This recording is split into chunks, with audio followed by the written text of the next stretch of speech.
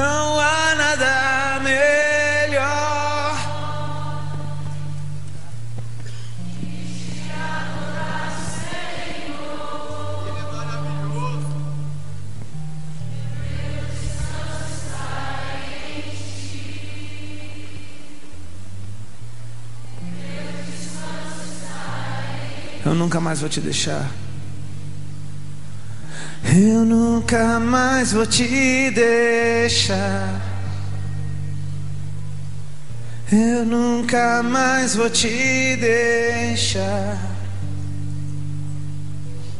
Eu nunca mais vou te deixar. Santo Deus, traz paz ao nosso coração.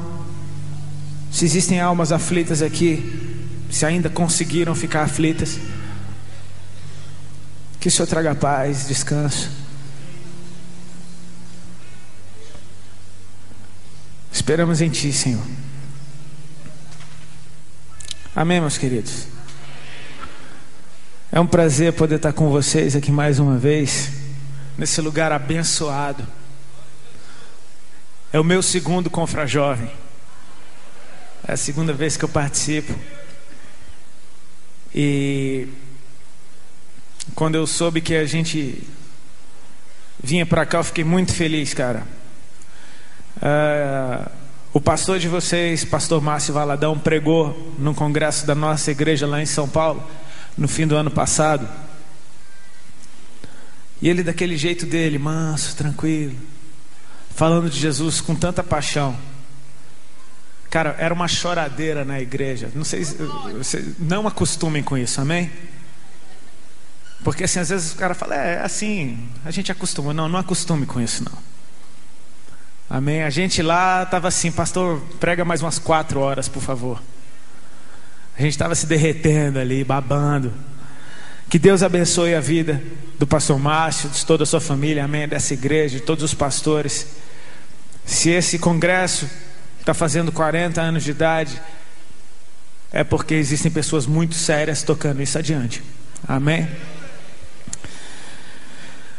É lindo quando Jesus nos dá a paz a respeito daquilo que nós somos chamados para ser. Não existe coisa mais angustiante, pelo menos para mim, do que me sentir fazendo o que eu não tinha que fazer, totalmente fora de contexto. Eu não sei se é porque a gente começa a adorar aquele que é eterno, que nosso, o valor que a gente dá ao tempo ele muda. Aconteceu isso com você? Depois que você entregou sua vida para Cristo, o valor que você dá ao tempo mudou? Antes eu não me preocupava muito em perder tempo. Aliás, eu adorava perder tempo. Eu gostava de ficar. Teve, teve uma das maiores viagens que eu gostava de fazer era acordar de manhã, enrolar um baseado, sentar no sofá e fumar olhando para a TV desligada. E lá eu ficava até o meio-dia. Eu acho que eu não estava afim de ver TV, mas a posição sofá-TV te induz a olhar para a TV. Então eu ficava encarando a TV e viajando. Sei lá o que estava acontecendo. Baita perda de tempo, cara. Eu preciso saber para que, que eu nasci. Amém? Porque isso vai me dar paz quando eu encontrar o que eu fui feito para ser. Cara, aí você vai poder dizer: agora eu encontrei descanso, agora eu encontrei alegria de verdade encontrei o que eu nasci para ser. Muitos de nós, ah, mesmo andando com Cristo, ainda temos essa luta.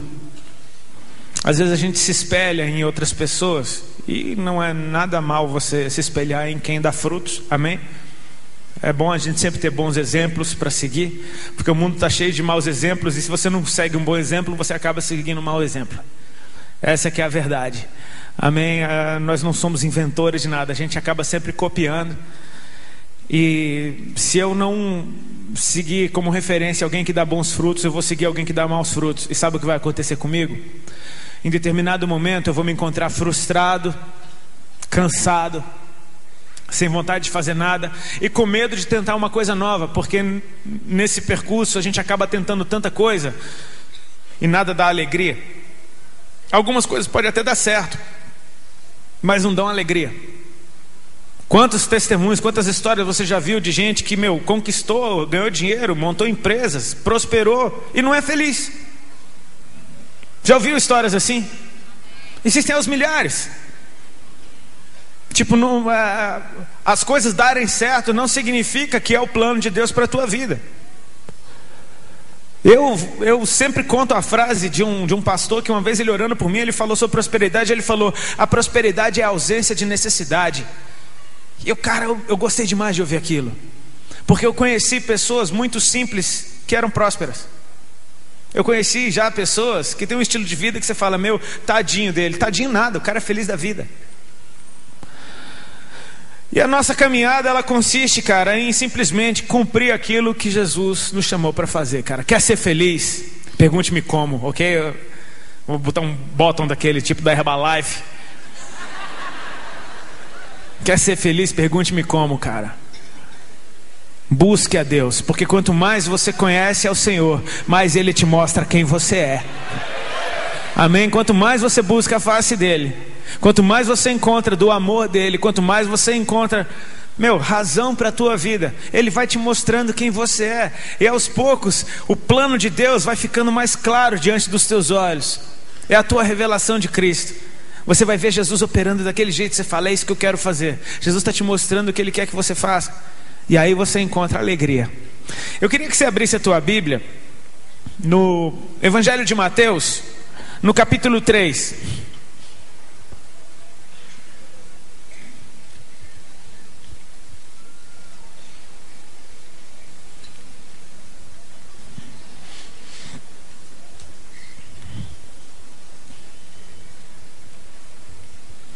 Evangelho de Mateus, capítulo 3. Quero perdoar os irmãos pela nossa barulheira, amém? A gente é crente, tá? Só que a gente é barulhento. Deus não é surdo, eu sei. Mas a gente gosta de gritar, cara. A culpa é toda do Chechel, o Batera. Ele toca daquele jeito, a gente tem que acompanhar. Amém? Mateus capítulo 3 diz assim: ó, Naqueles dias, repete comigo, naqueles dias. Pronto, só isso. Agora eu leio. Tá? Porque senão, né, vocês estão ligados como é que rola. Daqui a pouco estão repetindo tudo. Naqueles dias apareceu João Batista pregando no deserto da Judéia e dizia: Arrependei-vos, porque está próximo o reino dos céus. Porque este é o referido por intermédio do profeta Isaías voz do que clama no deserto, preparai o caminho do Senhor, endireitai as suas veredas. Aí você pula para o verso 11. Isso é João Batista dando testemunho de Jesus. Eu vos batizo com água para arrependimento, mas aquele que vem depois de mim é mais poderoso do que eu, cujas sandálias não sou digno de levar. Ele vos batizará com o Espírito Santo e com fogo. A sua pá ele a tem na mão e limpará completamente a sua eira. Recolherá o seu trigo no celeiro, mas queimará a palha em fogo inextinguível. Verso 13: Por esse tempo, você repete comigo, por esse tempo. Pronto. Dirigiu-se Jesus da Galiléia para o Jordão, a fim de que João o batizasse. Ele, porém, o dissuadia, dizendo: eu é que preciso ser batizado por ti, e tu vens a mim? Mas Jesus lhe respondeu: Deixa por enquanto, porque assim nos convém cumprir toda a justiça. Então ele o admitiu. Batizado Jesus saiu logo da água, e eis que, lhe, que se lhe abriram os céus, e viu o Espírito de Deus descendo como pomba vindo sobre ele. E eis uma voz dos céus que dizia: este é o meu filho amado em quem me comprazo. Você pode aplaudir a palavra de Deus? Glória a Deus.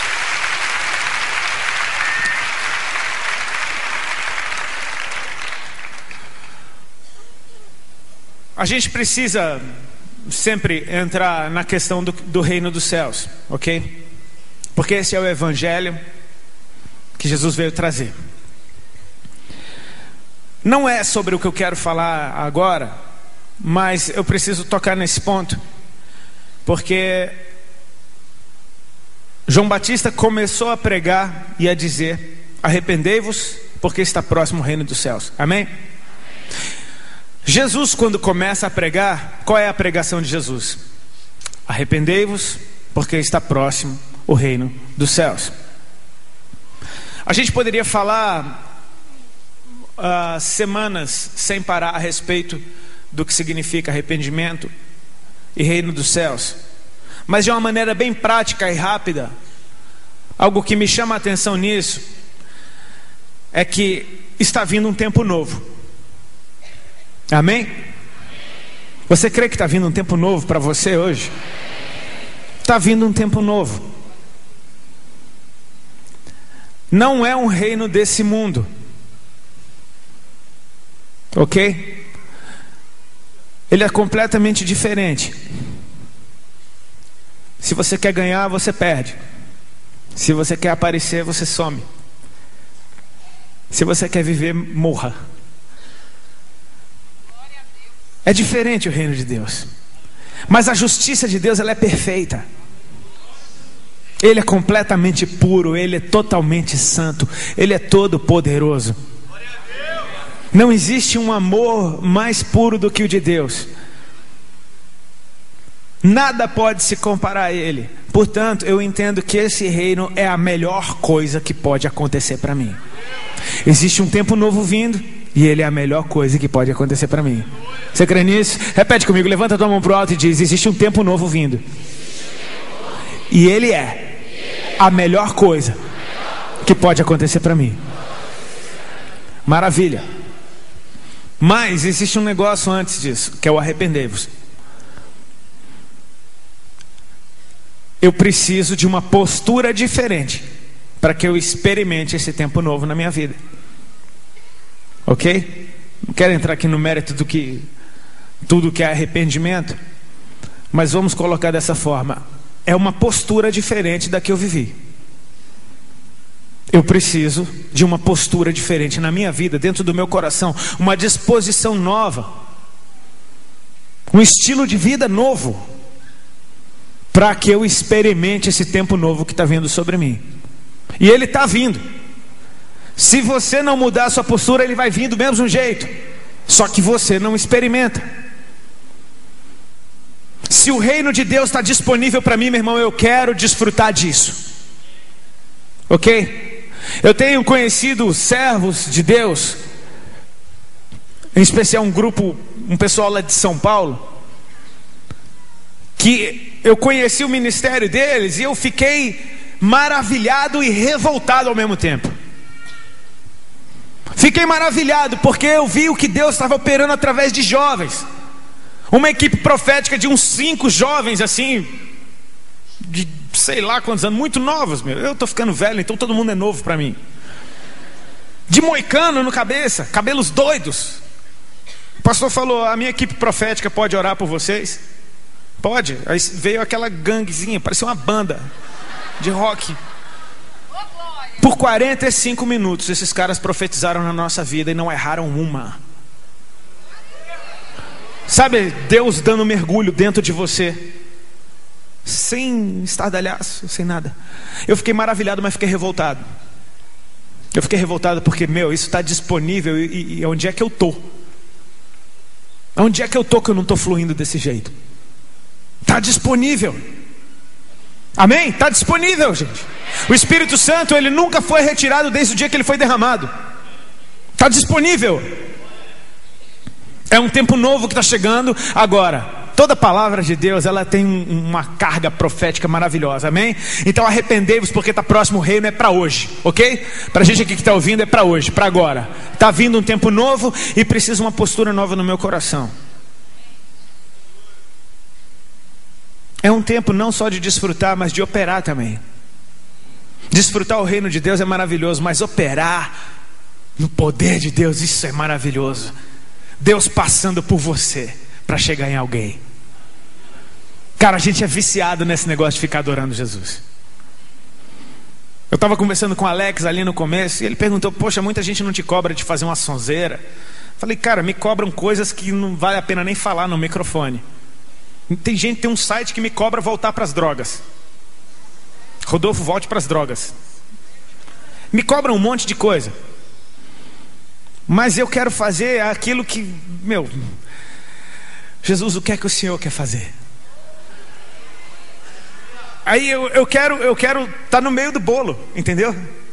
Eu quero, eu quero, você quer encontrar Jesus, cara, vai até onde Ele quer se manifestar, faz o que Ele quer que você faça, fala o que Ele quer que você fale, aí Jesus vai passar por você, e você, ah. é a coisa mais gostosa que tem, cara. A gente vive viajando para cima e para baixo, catamos dois voos, sei lá quantos, pra, três, não sei quantos foram, dois. E é pouco.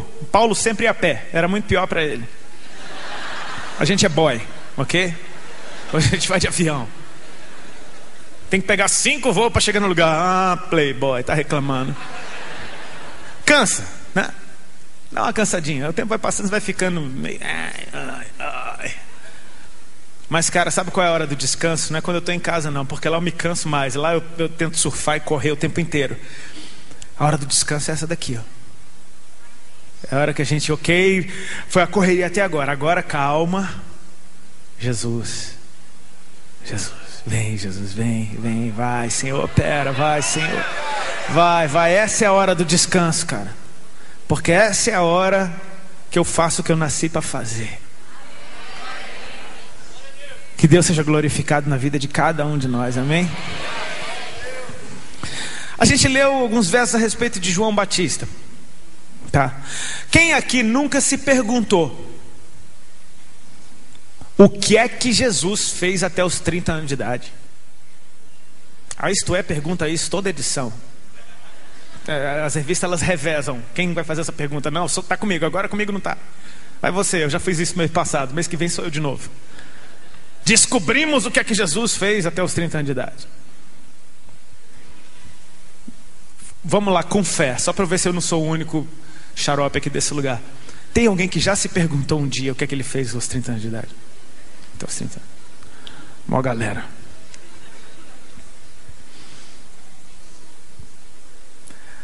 Bom, entendendo que só começa a falar de Deus operando a partir dos 30, isso me dá uma aula de como contar testemunho. Ok? Até os 30 não interessa, então não está escrito. Sacou? Tipo assim, quando você for dar seu testemunho, meu irmão, gasta tempo com o que não interessa, não. Vai direto para a parte que Deus começou. Ok? Quando Deus começou, aí pronto, é o que interessa. O testemunho é dele, não é seu. É dele.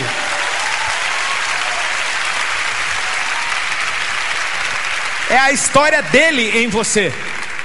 Ah, a minha história com Cristo. Legal, eu tenho uma história com Cristo. Mas é a história dele escrita em mim. Porque ele vem escrevendo a história dele antes de mim e vai continuar escrevendo depois de mim. Amém? Então, vira para quem está do teu lado e fala: Ô, oh, página da Bíblia bonita que você é. Deus está escrevendo em nós. Ok? Mas tem um negócio muito interessante. Ô, página suada que você é, né, amigo? Tem um negócio muito interessante. Deus ele deixou escrito: Eu não vou fazer coisa alguma sem antes revelar aos meus servos, os profetas. Isso é muito sério. Dê valor ao ministério profético, ok? Se você entende que você tem um chamado profético, cara, procure a sua liderança, desenvolva isso, porque é uma coisa linda.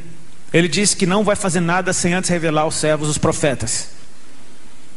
Então, os profetas são especiais para Deus, ok? Jesus é o Verbo e o Verbo estava com Deus e o Verbo era Deus e sem ele nada do que foi feito se fez. Então, se ele é o próprio Verbo, ele tem compromisso com a palavra que Deus libera. Acho que é no Evangelho de Mateus, se eu não me engano, que em diversas partes, depois de um evento, fala: foi assim para que se cumprisse foi assim para que se cumprisse. Jesus, quando sabe que João está preso, ele vai para Galiléia, porque foi assim para que se cumprisse a palavra que disse terra de, Zebulon, terra de Naftali, caminho do mar, Galiléia dos gentios. O povo que estava sentado em trevas viu uma grande luz. Amém? Jesus não vai contra a palavra de Deus. E o texto que a gente leu falando de João Batista diz que João Batista era o que foi referido por intermédio do profeta Isaías. Ou seja, um profeta profetizou a respeito de um profeta, que diz: Esse é a voz do que clama no deserto. Preparai o caminho do Senhor, endireitai as suas veredas. Então, se Jesus não vai contra a sua palavra, para que o ministério de Jesus acontecesse, o ministério de João Batista precisava acontecer primeiro. Está me acompanhando? Amém? O ministério, para o ministério de Jesus acontecer, o ministério de João Batista tinha que acontecer antes, porque ele era o que ia preparar o caminho do Senhor. Tá legal? E Deus investiu nesse cara. Deus investiu João Batista. Quando Maria estava com Jesus na barriga, foi visitar sua prima Isabel, mãe de João Batista, que estava com João na barriga. As duas buchudinhas se encontraram. Maria deu um hello. Ou hello de Maria. Isabel foi cheia do Espírito Santo. E a criancinha pulou no seu ventre. Jesus disse: dos profetas nascidos de mulher, não há nenhum maior do que João Batista, porque esse já nasceu cheio do Espírito Santo. Olha o investimento de Deus com esse cara. Tipo, meu, ele é o que vai preparar o caminho do Senhor. Diz que João Batista cresceu nos desertos, vestia pele de camelo, muito chique, comia mel e gafanhoto, que delícia! Ele crescia e se robustecia em espírito, até o tempo que ele tinha que se manifestar. Agora eu quero parar aqui para abrir meu livro de viagens, gospel, e ler a primeira carta, a primeira Rodolfo, capítulo 2. E imaginar o que teria acontecido se João Batista decidisse lá pelos 15, 16 anos, 18, vai, se desviar. Só dar uma curtida só. Tá, ele não estava mais aguentando esse papo de, meu, eu não aguento mais gafanhoto, cara. Ah, mais uma asa então. Mel, mel, mel, mel é uma delícia. Vai comer tudo o dia inteiro. Ah, eu não aguento mais. Chega! A galera em Jerusalém está apavorando, meu irmão. Tem altas festas bombando em Jerusalém. Que, é que eu estou fazendo nesse deserto, torrando no sol, comendo essa comida que ninguém come, só eu, vestindo essa roupa de doido, tô fora. Eu quero uns panos da Hollister, eu quero ir para Jerusalém, eu vou apavorar, vou cortar meu cabelo, vou passar um gel, vou chegar lá chique, cheiroso, e vou chegar e aí, gatinha, qual é que é? Como é teu nome? Meu nome é João, João Batista, pá e apavorar, e apavorar, e catando as mulheres. E aí João decide também tomar uns goró. Ah, chega para compensar o tempo no deserto. Né, galera quer compensar. Filho de crente quando se desvia, meu Deus do céu. Porque quer aproveitar o tempo que ficou né, indo para a escola dominical no domingo. Agora eu quero dormir até as três da tarde. Não, não, eu vou fumar um também. Imagina João Batista, um maconheiro. Uma maconheiro de Jerusalém começa a passar um fuminho em Jerusalém. Mas rapaz, tu não é aquele, não sou não, meu irmão. Tá perguntando por quê? Tu é polícia?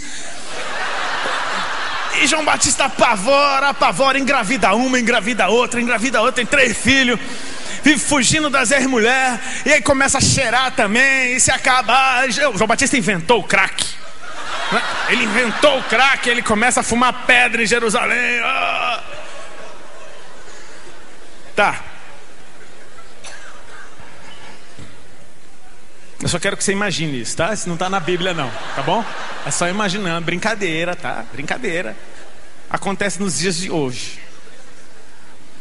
Agora você imagina João Batista lá com uns 48 anos de idade, assim, zoado, podre, cheio de marca de bala. Não, não tinha bala na época, de lança.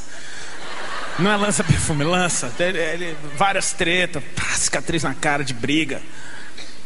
Ele era de uma organizada lá de Jerusalém, ele apavorava. Aí o Espírito Santo vem sobre ele de novo e fala: O que, que você está fazendo? Ele, ah, ele se lembra. Meu Deus, minha vida está uma droga, cara. Eu construí um império do tráfico e eu sou um narcotraficante. Cheio de dinheiro. As, sei lá, a moeda da época. Ele estava rico, mas estava triste. Cadê aquela presença que ele sentia lá no deserto quando ele não era nada? E ele decide voltar, ele joga os panos da Hollister fora, ele pega a sua veste de camelo, dá um ajuste, volta para o deserto e lá ele começa a se robustecer de novo. E leva tempo, né? Porque você sabe que quando o cara cai, o bagulho vem sete vezes pior, e aí, meu, o cara tá zoado. Agora vai tempo, né, meu irmão, para você engrenar de novo, mas antes tarde do que nunca, né? Então ele vai, e então naqueles dias, ele começa a pregar, vai lá para a beira do Jordão e começa a falar: arrependei-vos. Nisso ele já está com 53 anos de idade. E aí, por esse tempo, repete comigo: por esse tempo, cara, vem Jesus brabo, velho. Jesus vem muito brabo. Jesus já está com 58 também. Oh, tu és aquele que eu não sou digno de desatar. Cala a boca, me batiza logo. Eu estou te esperando, meu irmão. Há 28 anos. Eu estou esperando, eu não posso ir contra a palavra. Era você, o que, que você andou fazendo? Ah, me perdeu, eu sei tudo o que você estava fazendo. Vamos logo, batiza logo que a gente está com pressa. Pedro já não deve estar nem pescando, não, sei cadê os caras.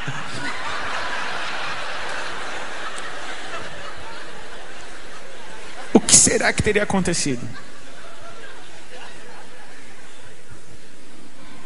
Você entende naqueles dias e por esse tempo? Deus tem o tempo dele. Amém? A gente ri porque é muito bom rir. Amém? Casa de Deus é lugar de rir mesmo. Amém? Você não vem aqui para ficar com cara de triste, cara. Você vem aqui é para ficar feliz. Deus tem o tempo dele.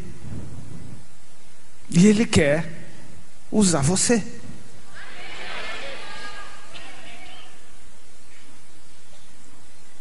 Mas Ele tem o tempo dele.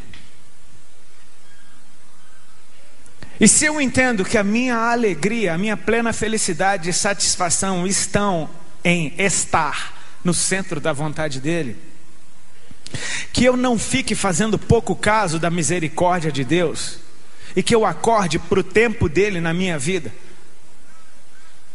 porque Ele é Deus, não eu. Então, que eu me submeta à vontade dele, não ele à minha. Às vezes a gente perde muito tempo tentando inventar um evangelho em que nós somos o centro e Deus é o nosso servo. É o contrário. Ele é Deus e nós somos os servos. Jesus dizia para todos os discípulos: Tu vem e me segue. Jesus não falava, agora eu vou atrás de você para consertar a tua vida. Não, tu vem e me segue, eu estou indo.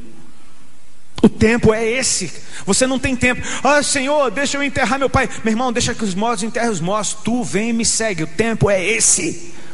Tem um tempo novo que está vindo, é a melhor coisa que pode acontecer para a tua vida e exige uma postura diferente do teu coração.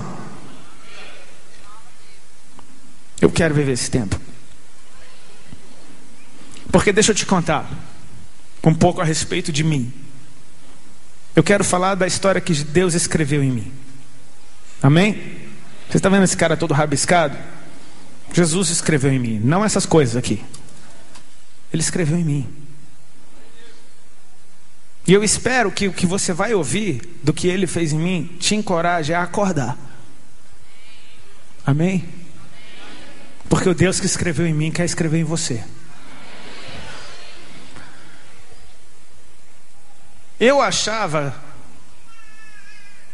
que eu tinha nascido para ser o vocalista do Raimundos. Porque eu vim de uma família de nordestinos que ralaram muito para estudar e se formar, e se formaram. Meu pai e minha mãe eram médicos. Vieram ambos de famílias muito humildes e ralaram muito. Foram para Brasília, estudaram lá, eles casaram, se formaram, construíram uma vida lá. E de repente, meu, pai médico, mãe médica, meus tios, da, meu tio da parte da minha mãe, médico. 52 primos do meu pai, médicos. Era, 52 primos médicos. O que, é que você acha que estava escrito para mim? Eu aprecio muito a medicina, mas eu não era um cara muito bom de estudo, sabe? Então. De repente, a minha doideira explícita, porque a loucura que eu vivia, eu comecei a cantar,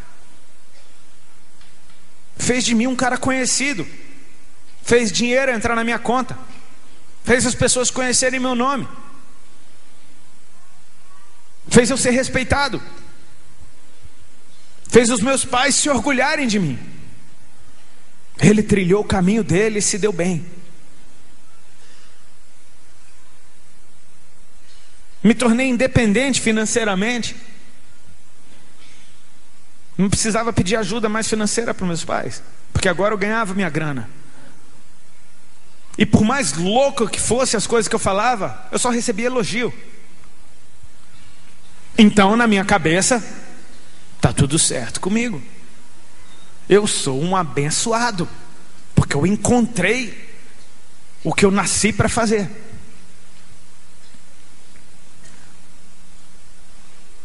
Só que o tempo vai passando e a satisfação nunca vem. Nunca vem. E aí eu pensava, bom, se eu não sou, se eu não estou satisfeito agora é porque talvez nessa hora não esteja fumando um bagulho. Então eu acendi um bagulho porque era disso que eu precisava. Eu terminava de fumar, a insatisfação ainda estava lá. Então é porque deve estar tá faltando mulher. Sai para balada, vai ver se arruma uma mulher. Arrumava uma mulher. E depois, a insatisfação ainda estava lá. Não, eu preciso é fazer show para a galera saber que eu sou. E eu fazia o show e era muito legal. Terminava o show, a insatisfação ainda estava lá. Não eram coisas conscientes na época. É algo que depois, com Cristo, você olha para o teu passado e você consegue ver a diferença. Às vezes, no meio do turbilhão, você não identifica o quão infeliz você está. Mas quando você experimenta a alegria, você fala, cara, e eu achava que era feliz. Quando você experimenta a liberdade, você olha para o teu passado e fala: "E eu achava que era livre". Quando você experimenta o ar puro, você se lembra do esgoto que você respirava e fala: "Eu achava aquilo bom". Então depois a ficha começa a cair e o Espírito Santo te ensina essas coisas, mas na hora era simplesmente um incômodo, uma angústia, uma alma aflita. Quando eu conheci a minha esposa, aquela moça linda que está ali, que cantou aqui com a gente, amor, dá um alô para a galera, porque eu preciso mostrar para você, para o mundo, como Deus me abençoou. Ela não era assim, não, viu, gente? Ela não era bonitinha assim, não. Ela, ela, ela, depois que ela casou comigo, ela ficou gata desse jeito. É porque, né? Brincadeira, né, meu amor?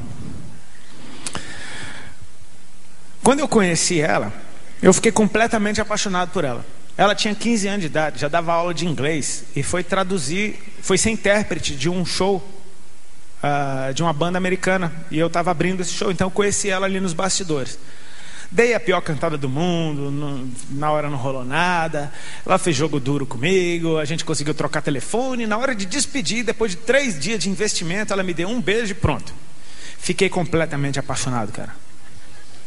Completamente eu falava, com essa eu caso.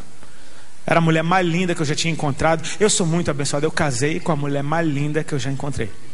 Tá? Me desculpem, tá? Foi mal. Foi mal, eu vou orar por você. Sabe aquela que você fala, cara, com essa eu caso, não é com aquela nem com aquela outra, é com essa, casei. Mas não foi mil maravilhas, nem foi tão fácil assim, porque o tempo passou, e eu no meu estilo de vida destrutivo, e ela foi conhecendo um estilo de vida destrutivo também. Tanto que a gente se conheceu em 94, E quando a gente foi finalmente namorar, foi no ano de 2000. E nesses seis anos, ela dos 15 aos 21, aprontou muito. Morou em Londres, quase casou com um gringo lá, conheceu drogas pesadas, e quando a gente se reencontrou, ela estava que nem eu, estava um bagacinho. Mas a gente se achava. Ela na parada dela, que a viagem dela era rave, música eletrônica e êxtase, ácido, muito louca, descolada. E tudo dela era o melhor. E eu na minha viagem lá, de que eu também tenho meu valor, olha só. A gente juntos. Estava muito feliz de estar junto. Mas um tipo de incômodo diferente começou a acontecer. Como um terremotos que aconteciam o tempo inteiro e tinha os aftershock. Brigas que nunca encontravam solução, discussões intermináveis no meio da madrugada, e aí você está muito louco, quer brigar, aí você fica brigando no meio da madrugada, e você não aguenta mais brigar, e quer fumar um para fazer as pazes, aí fuma, aí até parece que fez as pazes, daqui a pouco lembra que estava brigando, começa a brigar tudo de novo, do zero, não dá certo. De repente a nossa vida começou a ficar horrorosa, e a gente começou a sofrer muito, só que a gente se amava. E como é possível vocês se amarem estarem juntos e não tá bom? Porque a gente ainda não tinha acordado para aquilo que a gente nasceu para ser. Pode estar tudo bem, meu irmão. Pode estar tudo parecendo muito bom. As pessoas podem olhar para você e ter até inveja de você. Se você não é o que você nasceu para ser, me desculpa, a insatisfação vai ser sua melhor companheira. Eu comecei a me tornar uma pessoa muito enjoada de estar perto. E o pior é que eu descobri um dia um caroço debaixo do meu braço. E esse caroço debaixo do meu braço doía muito. E quando eu detectei o primeiro dos caroços, aquilo me deixou preocupado. Porque ele não desaparecia, e muito pelo contrário, ele estava aumentando e se multiplicou. E começou a aparecer no outro braço também, começou a aparecer na região da virilha também. E aqueles caroços começaram a ficar enormes e a se multiplicarem e doíam demais. Não tinha um momento do meu dia que eu não me lembrasse que eles estavam ali. Porque doía muito, qualquer movimento que eu fazia com os braços doía. Então eu ficava tentando ver o tempo todo, e eram bolotas enormes dentro para dentro do braço. Eu olhava no espelho, era tudo vermelho, umas bolotas vermelhas. Comecei a perder muito peso e aí, cara, eu falei: Meu Deus, está acontecendo. Isso é real. Eu estou morrendo. As pessoas então começaram a notar que eu estava doente. E começavam a, a, a, fazer comentários que acabam chegando nos seus ouvidos. Meu, o cara está doente, o cara só vive gripado, o cara está o tempo todo doente, o cara está magro, está com cara de doente. E você fica tentando maquiar porque agora a realidade está ficando pior. Agora eu tinha um motivo real para ficar desesperado. Mas eu tinha que manter a minha aparência, eu tinha que manter o personagem. E eu decidi simplesmente viver sem saber o que é que eu tinha. E se eu fosse morrer uma hora, eu morria. Não estou nem aí. Covarde. Só que Deus tem sempre um plano, amém? E Deus tem o seu tempo. Amém? E o plano de Deus, meu irmão, a vontade dele, sabe o que a Bíblia diz? Que ela é boa, perfeita e agradável.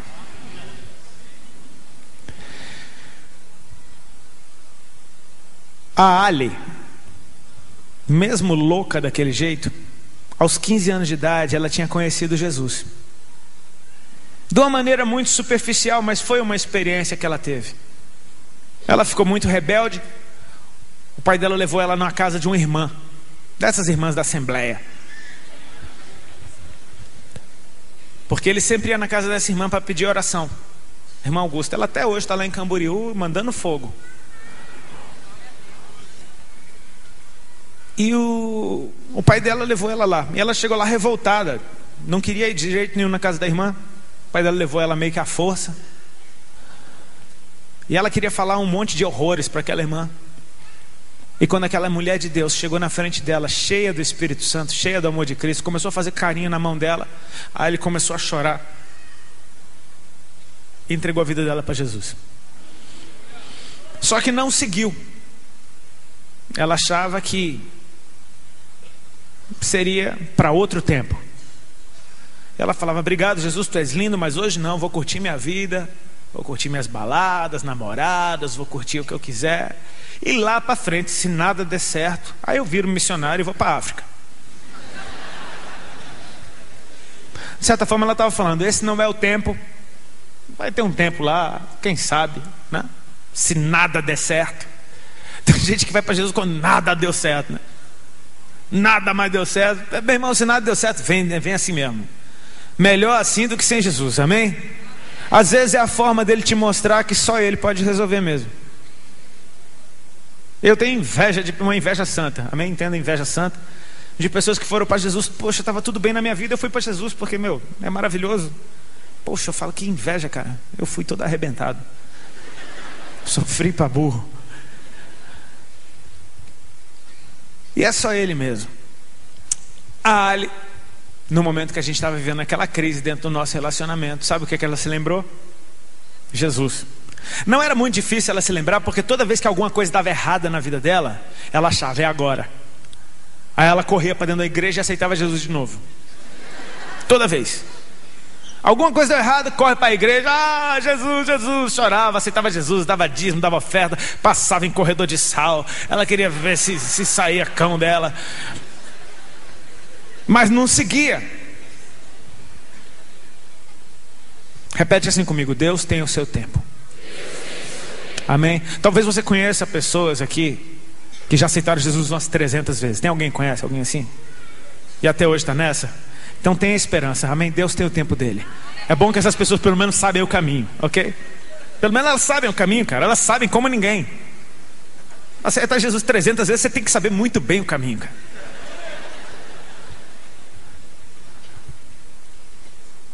Ah, ele começou a buscar Jesus de novo.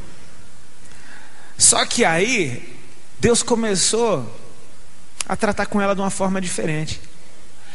Deus deu sabedoria demais para a pastora para qual ela ligou. Ela tinha uma Bíblia que tinha o telefone de uma pastora. Ela ligou para essa pastora. E essa pastora deu o telefone de outra pastora, que deu o telefone de uma irmã, que deu o telefone de outra, e de outra, e de outra, e de outra, e de outra, e de outra, e de mais muitas outras. Daqui a pouco ela estava com a, a agenda cheia de telefone de irmã. E toda hora ela ligava para uma irmã. E aquela pastora falou um negócio, filha, a última vez que eu te vi, você estava muito mal.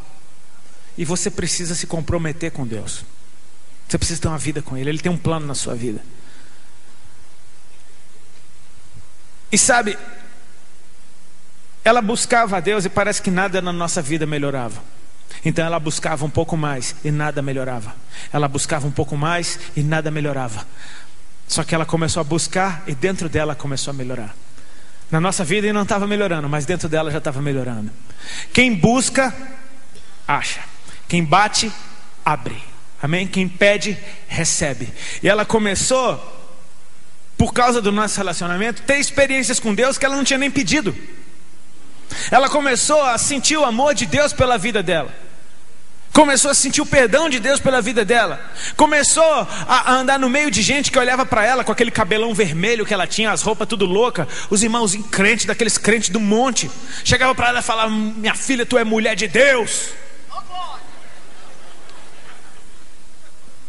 Sabe? Às vezes a religiosidade faz com que você olhe para o maluco e fala: Queima Jesus, queima nada. Queima o cão.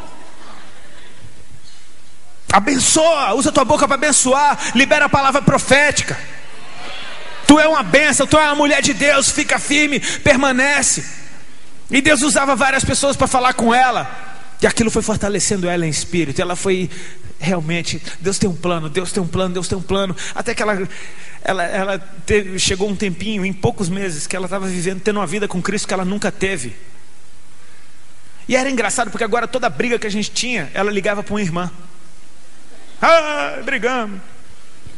Ela estava Irmãs, me ajudem. Aí um belo dia ela chegou com a notícia: Amor, as irmãs vão vir aí. E eu perguntei: Quando? Na segunda-feira. Falei: Que horas? À tarde. Aí eu pensei: Bom, segunda tarde não tem show, tem nada, eu vou para o Guarujá, vou surfar. Aí ela falava: Não, é uma campanha. São sete, segunda-feira. Aí, oh. As irmãs, meu irmão, as irmãs. As irmãs são assim. E aí eu falei, tudo bem, eu é que não vou ficar aqui. Esses crentes. Eu sou o cara do Raimundo, o que eu quero com crente? Então eu fugi da primeira, fugi da segunda, fugi da terceira. Só que eu era muito maconheiro, entende? Então, um maconheiro profissional, ele esquece das coisas de vez em quando. Né? Esquece. E aí chegou uma segunda-feira e eu esqueci que as irmãs iam. E quando elas chegaram, eu estava lá. Tinha acabado de fumar um, estava doidão. As irmãs chegaram. E aí, eu, meu Deus, tocou a campainha. Eu falei: Que é isso? As irmãs. Eu, ah, as irmãs. Não tem nem pra onde correr agora. Só joguei um colírio no olho, lavei a boca, a mão e fui abrir a porta para elas. E quando eu abri a porta para elas, eram umas cinco. A paz do Senhor. Eu, ah. E foi a coisa mais louca que eu já vi na minha vida. Porque eu vi aquelas mulheres se transformarem. Elas chegaram super, meu, todas cheirosinhas, todas com coquezinho muito bonitinho, com a bibliazinha, com a bolsa no outro braço, com a saia até o pé, todas arrumadinhas. Você via que eram mulheres simples, mas todas, meu, impecáveis ali. Daqui a pouco, elas cantaram os hinos, eu não entendia nada disso. Foram fazer uma oração, vamos orar. Eu falei, beleza, é só uma reza.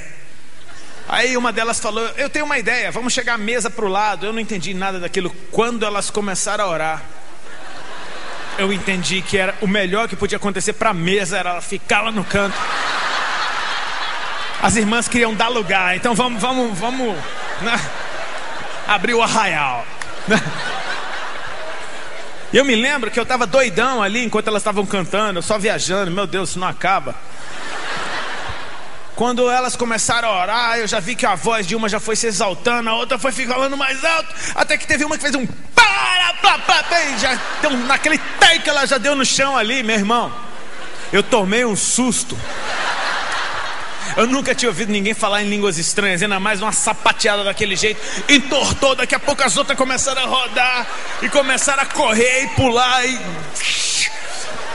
dando uns flip. Meu irmão, eu fiquei em pânico, o bagulho que eu tinha acabado de fumar passou. Sabe? Fiquei em choque, em choque. É que nem quando você tá louco, andando na rua, parece um camburão. Você... Deu um choque. E cara, eu fiquei encostado na parede, eu de um canto, a mesa do outro, a gente ali em segurança, as irmãs correndo pela casa, pela cozinha, pelo corredor. Mandaram lugar. Aí uma delas deu a volta na, na, no sofá que tinha assim e veio na minha direção, mas veio reto. O coque dela já foi pro espaço, já tinha muito tempo. Aquela doideira, já tava com uns cabelão. Chegou para mim, o irmão já aceitou Jesus? Na tora. Cara, só que eu tava com tanto medo delas que eu falei, já?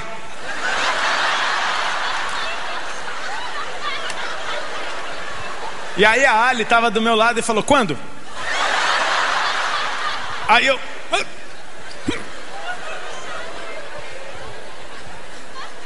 Aí a irmã, com muita sabedoria, perguntou: O irmão quer aceitar Jesus? Eu falei: Quero. Eu estava com medo, eu estava acuado, ok? Eu estava acuado. Eu, eu, eu ia dizer sim para tudo ali. Muda de time, mudo, tranquilo. E aí ela falou: então faz uma oração comigo. Eu falei: tudo bem, faço tudo. Eu estava com medo dela, tá?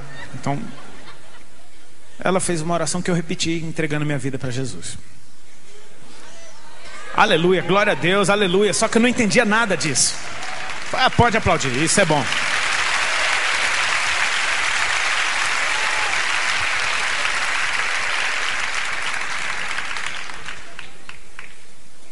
Olha o que acontece. As irmãs foram embora. Sabe o que aconteceu? Eu peguei a minha lata de maconha, enrolei uma bomba que eu estava louco para fumar, imitei elas cantando, imitei elas pulando. Tipo, eu? Ali, o que, que é isso, meu? Isso é uma guria cabeça, que papo é esse? Esse crente louco é isso, que é isso? Só que o amor de Deus é grande demais. Amém. Ele é grande demais, cara. Quando o Espírito Santo vinha sobre Sansão, a Bíblia diz que ele se apossava de Sansão. Toma posse. OK. Diz que Sansão ficava possuído do Espírito Santo de Deus. Ou seja, o amor de Deus é sempre maior do que a minha ignorância, do que a minha falta de fé. Ele é muito maior do que os meus pecados. Ele encobre a multidão de pecados. Amém? Ele é perfeito, ele lança fora o medo. O amor de Deus é uma coisa linda. E aí chegou a segunda-feira seguinte. As irmãs voltaram, trouxeram com elas uma amiga delas. E quando as irmãs trazem uma amiga, você pode saber que aquela é a irmã das irmãs. Ok? Aquela lá é aquela para qual elas pedem oração. E trouxeram. E ela chegou cheia da autoridade. Não, o texto é o tal, o hino é o tal, e quem vai cantar é a irmã, porque o manto está com a irmã. Ela chegou mandando. Mesa para o lado, tudo bem, começa a orar, tem, pra, pra, pra, pra, tudo bem, e eu já estava ótimo, eu já estava super ambientado com isso, era a minha segunda reunião. Eu já não estava mais com medo delas, eu fiquei no meu canto, encostado na parede, como eu sempre ficava, mexendo a boca, fingindo que estava orando. Tá tudo certo. E daqui a pouco vem essa, deu a volta no sofá e lá vem na minha direção. Eu falei, ok, toda vez é assim. Ela parou na minha, na minha frente, colocou a mão na minha cabeça e começou a orar por mim. E ficou orando, orando, orando em línguas, eu não estava entendendo nada. Fiquei quieto no meu canto. Ela baixou a mão até a minha barriga. Ficou orando com a mão na minha barriga por uns instantes. Até que ela abriu os olhos e falou assim, simples, sem drama. Ela, ela me deu um recado. Sabe como alguém te dá um recado? Ela chegou assim para mim e disse: Irmão Rodolfo, o Senhor Jesus está mandando te dizer, tipo assim, a intimidade dela. O Senhor Jesus está mandando te dizer que nessa tarde ele está te curando de um câncer no teu estômago para você saber que Ele é Deus, que Ele te ama e que Ele tem uma obra para fazer na tua vida. Glória a Deus.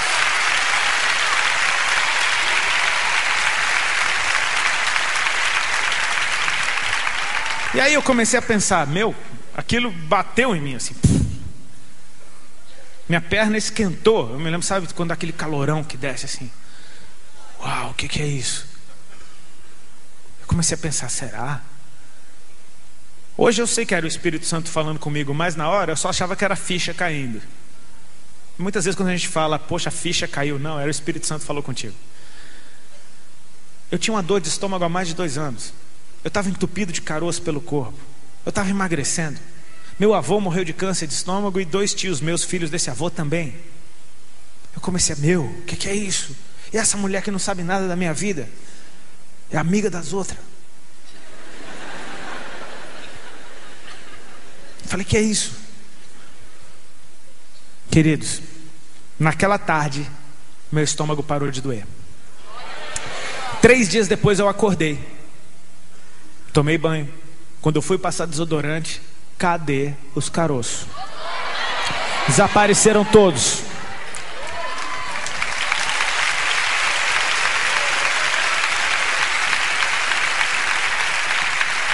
Jesus marcou o meu tempo. A minha história com Ele começava naquela hora. Ele marcou o meu tempo. É como se ele tivesse chegado para um discípulo e falar: Ok, agora tu vem e me segue. Ele vem, se manifesta, opera sinais e maravilhas. Você fica, oh! Ele fala: Agora tu vem e me segue vai ver coisas maiores ainda. Aquilo marcou meu tempo. a, a partir daqueles dias eu passei a engordar. Cheguei a ganhar 19 quilos em três meses. A minha vida começou a mudar. Porque agora eu não conseguia mais viver sem a consciência de que Ele é real. Eu tinha o meu corpo, que foi tocado por Deus, me lembrando todos os dias que Ele é real. Eu apertava debaixo do braço o dia inteiro procurando caroço e não achava nenhum. E toda vez que eu fazia essa geral e não achava, eu falava: Jesus é real. Todas as vezes que eu me pesava numa farmácia e via quilos a mais, gramas a mais, às vezes me pesava todo dia. Eu estava gostando da brincadeira. Jesus é real. Colei com as irmãs. Comecei a andar com as irmãs. Agora era eu, era a Ali, eu e as irmãs. A periferia. Só a igreja do Reteté. Lá na periferia de São Paulo. Vamos pro monte. Os matos acendem no monte. Cheio dessas conversas. E eu ia lá. E pagava maior mico, porque eu chegava lá totalmente cru. Chegava no monte, em cinco minutos eu orava tudo. Vamos embora? As irmãs, ah, chegamos 11 horas, saía seis e meia da manhã. As irmãs, era o, era, era o Havaí das irmãs, era aquilo ali. Mas era uma delícia, sabe? Você vai aprendendo coisas novas, aprendendo coisas novas, aprendendo coisas novas. E aquela frase não saiu da minha cabeça. Ele te curou para que você saiba que Ele é Deus, que Ele te ama e que Ele tem uma obra na sua vida. Tem uma obra na sua vida. Ele só chamou a tua atenção. O tempo foi passando, a gente foi aprendendo de Deus. De segunda a quinta eu ia para os cultos. Cada irmã era de uma igreja, a gente ia todas. E sexta, sábado, domingo eu fazia show com Raimundos. É lógico que eu fui ficando diferente. Os caras começaram a perceber: esse cara está diferente. E não era um diferente, olha como ele está feliz. Não, era um diferente, tipo assim, ele está com cara de louco. Né? Você não entende as coisas, você não sabe como falar. Você não quer nem falar porque você não sabe explicar. Então você só fica estranho. Né? Quem, quem reconhece, eu fiquei mais chato depois, quando eu aceitei a Jesus. Bem no começo. Eu vou perguntar de novo. Quem reconhece? Eu fiquei mais chato quando eu aceitei Jesus. Naquele tempo, não é que você é chato hoje, aquele tempo, naquele tempo, aqueles primeiros dias, você ficou um porre. É, eu também. Cara, quando a turnê chegou ao fim, eu não pensei duas vezes. Porque Deus ele estava me dando a oportunidade. Ele já tinha me mostrado naquele tempo que ele podia me livrar das drogas. Ele me libertou das drogas no meio de um baseado. Eu dando glória a Deus, apertando debaixo do braço, tentando ler a Bíblia e tentando fumar. Eu não conseguia, e daqui a pouco era o último baseado que eu tinha. Comecei a fumar e ia dizer: é o último, é o último. Quando eu vi, eu estava com fé falando: é o último, quer saber? É o último, é o último. Olhava para a Bíblia que eu não entendia nada. E pro baseado eu falei: cara, apertava debaixo do braço. Falei: meu, tem alguma coisa aqui, isso aqui está fora do contexto. Foi o último baseado que eu fumei. O último. A partir daí eu comecei a ter nojo de maconha. Eu não explico isso. Algo saiu de mim. Deus estava fazendo coisas tão rápidas que eu falei, cara, quer saber? Ele tem uma obra na minha vida. E eu olhava para a minha vida, para tudo que eu tinha conquistado, e nada daquilo tinha me dado satisfação, e de repente, aqueles cinco meses, andando com aquelas mulheres humildes de periferia, andando no meio daquele povo simples, passando madrugadas na casa das irmãs, comendo, comendo e falando de Jesus, comendo e falando de Jesus. Numa dessas comilanças da madrugada foi a primeira vez que eu falei em línguas na vida, eu me lembro. Cara, eu estava feliz, eu estava satisfeito. Eu olhava para minha mulher agora, não era mais com desconfiança, era tipo, meu, olha que bênção. Todo dia que eu acordava agora não era mais um peso, era poxa. Mas toda hora que eu subia em cima do palco, eu. Porque eu falava, meu, não é isso. Quando acabar a turnê, eu não pensei muito, não, sabe? Eu saí mesmo. E eu achei que todo mundo fosse gostar e não gostaram. Achei que o mundo fosse aplaudir, não aplaudiu. Eu passei a ser odiado e daqui a pouco eu era chamado de louco por onde eu ia.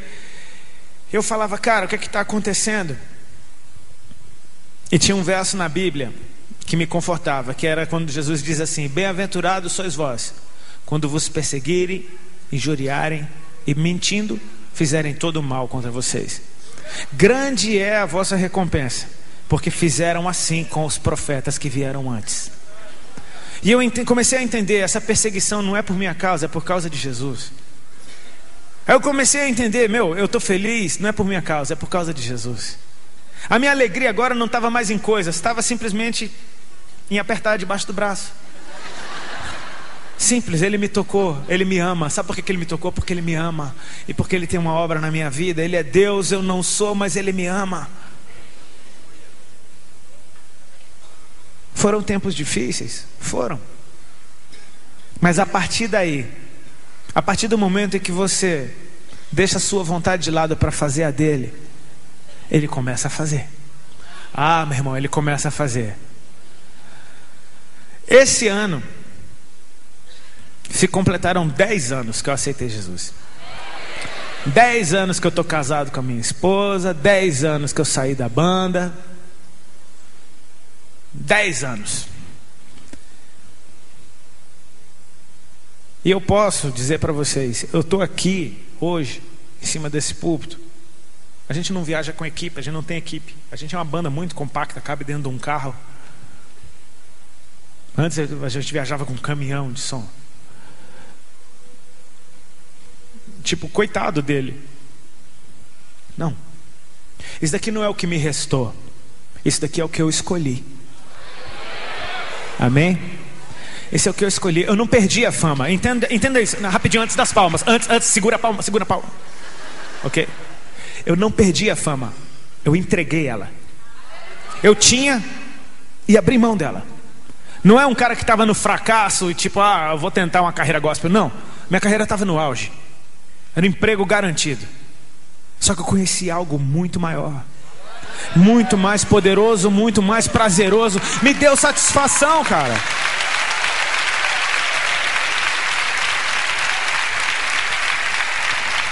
Eu estou aqui porque eu escolhi. Vou fazer das palavras de João Batista as minhas. Vem um depois de mim que é mais poderoso do que eu.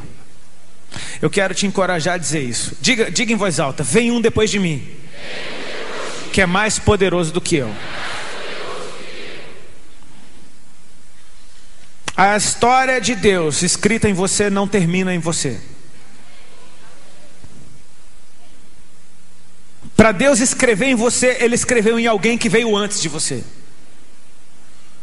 E essa pessoa na qual Ele escreveu essa história recebeu de alguém no qual ele escreveu antes. Até que vem, meu, faz dois mil anos, mais ou menos, que essa história vem sendo escrita de um em um. Pá, pá, pá, pá, pá, pá, pá. Em gente que alinhou o seu tempo com o tempo de Deus. E na hora que ele quis se manifestar, pá, falou: Eis-me aqui. E pá, começa a escrever, começa a escrever, passa adiante, começa a escrever, passa adiante, começa a escrever, passa adiante, passa adiante. Chegou em mim, cara. Fazem dez anos que ele começou a escrever em mim. E pá, Deus me trouxe aqui hoje para te falar que está próximo, que chegou um tempo novo para a tua vida, que chegou o tempo de você experimentar satisfação, que chegou o tempo de você experimentar o entendimento, é para isso que eu nasci. Talvez você não vá fazer o que eu faço, talvez você não vá tocar, talvez você não vá pregar, Deus tem algo para você e é específico para você.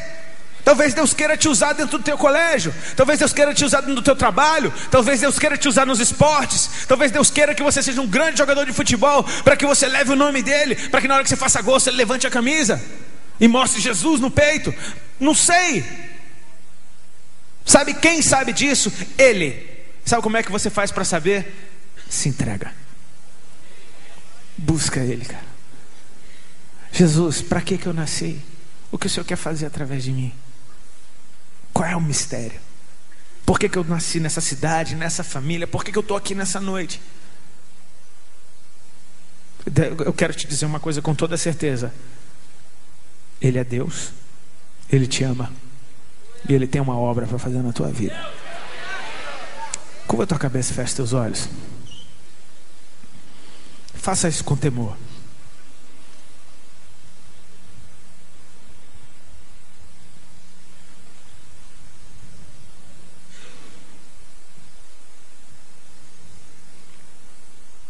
Naqueles dias, João começou a pregar. Por esse tempo, Jesus veio para ser batizado.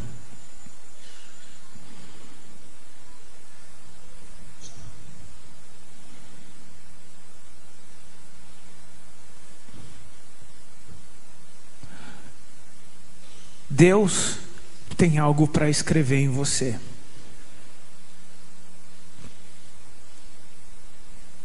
Não interessa quantas oportunidades talvez você já tenha tido. Interessa se hoje há entendimento dentro de você que te faça acordar e parar de perder tempo. Existe um nível de alegria que está na presença dEle. Ele disse: Eu vos darei a alegria completa. Se Ele diz que vai te dar alegria completa, é porque as outras alegrias não são.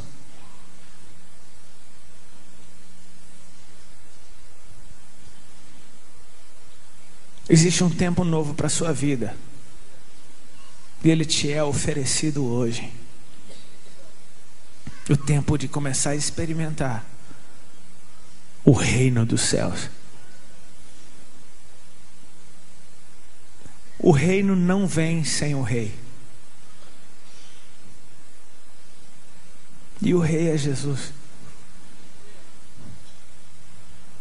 Quando eu entrego a minha vida nas mãos desse rei, eu estou declarando: assim como no reino tudo é do rei, a minha vida também é.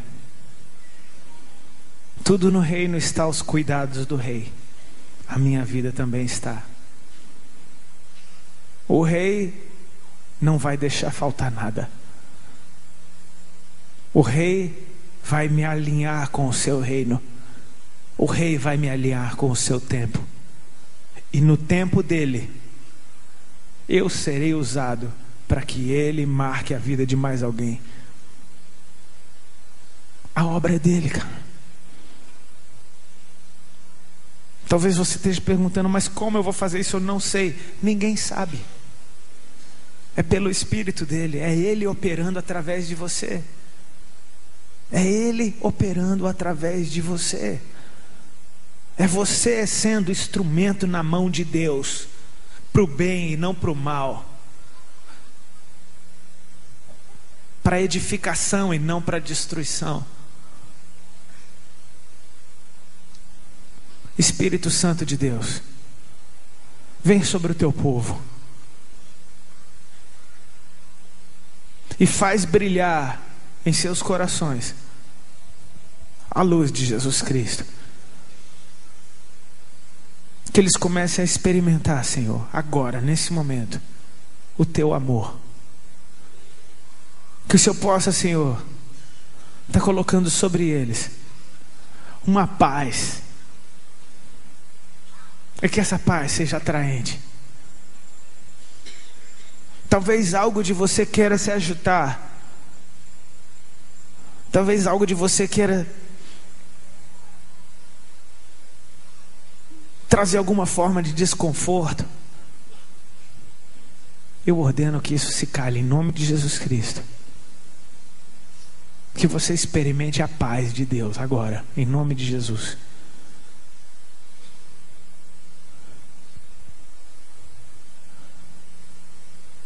O que precisa acontecer para Deus começar a escrever na minha vida?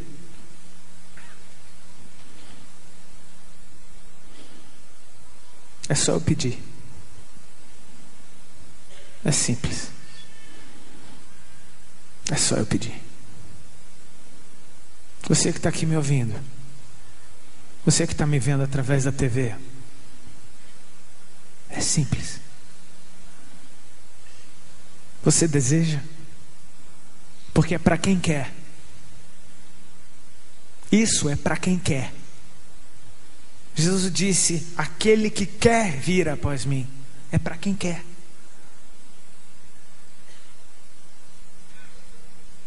Ele está disponível. Ele diz: Vinde a mim, os que estão cansados e oprimidos, e eu vos aliviarei. Você que está me ouvindo aqui agora, você que está me ouvindo através da TV, se você deseja entregar a tua vida para Jesus, daí do teu lugar, dá um sinal com a tua mão, levanta a tua mão para o alto que eu quero orar por você. Levanta ela bem alto. Eu podia pedir para você sair do teu lugar e vir aqui à frente que eu quero orar por ti. Sai do teu lugar rapidinho. Se você está acompanhando essa pessoa, traz ela aqui na frente. Chega aqui na frente do altar rapidinho que eu quero orar por você. Sai daí da galeria, a gente vai esperar você chegar aqui. Sai do teu lugar e vem. Você que está em casa, só aguarde um instante, a gente vai fazer uma oração, você faz junto com a gente. Sai do teu lugar e vem aqui na frente, vem aqui na frente.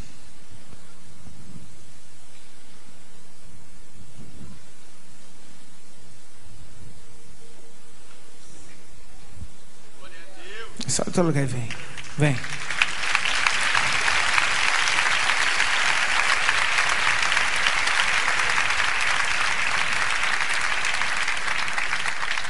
Tem mais gente vindo, a gente só vai esperar um pouquinho. O pessoal está descendo. Isso aqui é para a glória de Deus, gente. Amém? Isso é para a glória de Deus. Se a gente faz uma festa tão bonita para a gente, a gente tem que fazer uma mais bonita ainda para Deus. E festa na presença de Deus é quando alguém se arrepende, é quando alguém começa a entrar no reino. Se tem alguém aqui que um dia já entregou sua vida para Cristo, mas assim como a minha esposa, olhou para trás, decidiu fazer as coisas do seu jeito e você reconhece, eu estou distante, eu estou desalinhado do tempo de Deus. Se você reconhece que talvez com aquela história boba que eu contei a respeito de João Batista desviado, você entende, meu, eu já tive um chamado, eu já experimentei e eu desandei e, e... cara, sabe o que é que você faz de melhor na sua vida? Começa hoje do zero. Começa hoje do zero, amém? Deus tem sempre um plano para aqueles que saem do plano também. Então vem, sai do teu lugar e vem, não perca mais tempo, não passe mais um dia da, da tua vida perdendo tempo longe da presença dEle. Vem, vem que tem espaço. E o coração de Deus é muito maior que esse púlpito aqui, então pode vir.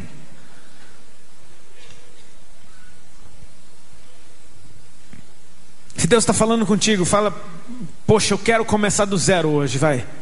Eu quero começar do zero. É uma atitude, é um voto teu, uma aliança tua com Deus. Só você sabe o que você está sentindo aí no teu coração. Só você sabe a vergonha que às vezes você sente quando as pessoas falam de igreja, falam de adoração, falam da experiência com Deus e você fala, é, eu sei disso tudo, mas poxa, faz tempo que eu não experimento. Meu irmão, deixa a vergonha de lado, manda essa vergonha para o inferno e venha para a presença de Deus, amém? Que é tempo de você receber dupla honra no lugar dessa vergonha.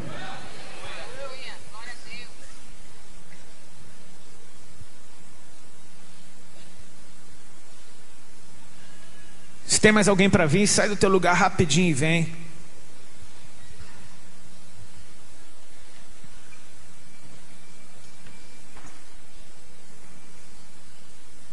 Enquanto isso, vocês intercedem daí, amém? Orem daí. Talvez tem muita gente que esteja travando uma guerra dentro de si, falando: será que eu vou, será que eu não vou, meu irmão?